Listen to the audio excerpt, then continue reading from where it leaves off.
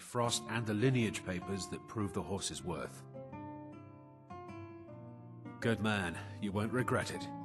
Head to the Riften jail and talk to Sibbi. Get him to tell you where Frost and his lineage papers are and bring them to me outside Riften. You'll be well paid for your time.